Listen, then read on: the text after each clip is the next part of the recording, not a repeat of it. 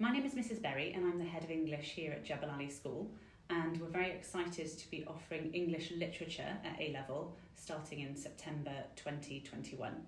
Now as you know English literature is of course a reading heavy essay based subject but it is a subject that will enable you to develop very strong communication skills which are of course transferable to many professions. So English literature as A level could take you down the path of a career in journalism, in law, broadcasting, marketing, PR, teaching, politics or any uh, similar profession. Now, we will be offering the Edexcel A-Level English Literature course here at Jebel Ali School, and this particular course has many exciting texts to study and enjoy.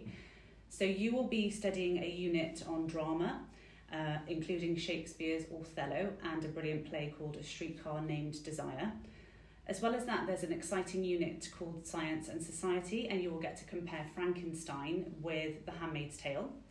And of course, with every English literature course, you will study a collection of poetry as well.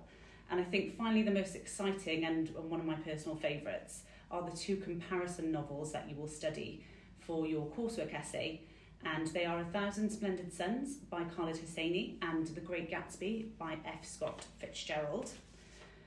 So the expectation with this particular course is to read the set texts in advance of the lessons. So you will have the opportunity to do some summer reading, and these two particular novels, so A Thousand Splendid Suns and The Great Gatsby, are the ones we will be starting with. So you'll have the opportunity to read these over the summer holiday before um, September, and they are great summer reads. So, two texts that you will very much enjoy reading during the holidays. If you do have any further questions or if you'd like some more information about the course, then please feel free to get in touch with me.